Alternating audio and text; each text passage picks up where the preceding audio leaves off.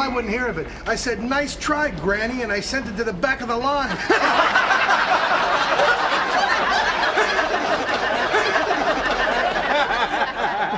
Hello, Newman.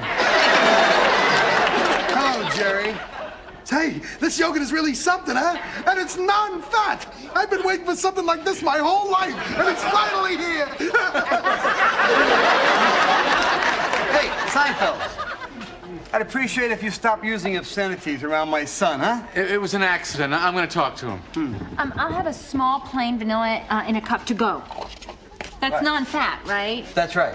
Because I'm on a special diet, and the doctor said I can't have any fat. Yeah, well, there's no fat. hey, another round of strawberry for me and my friends.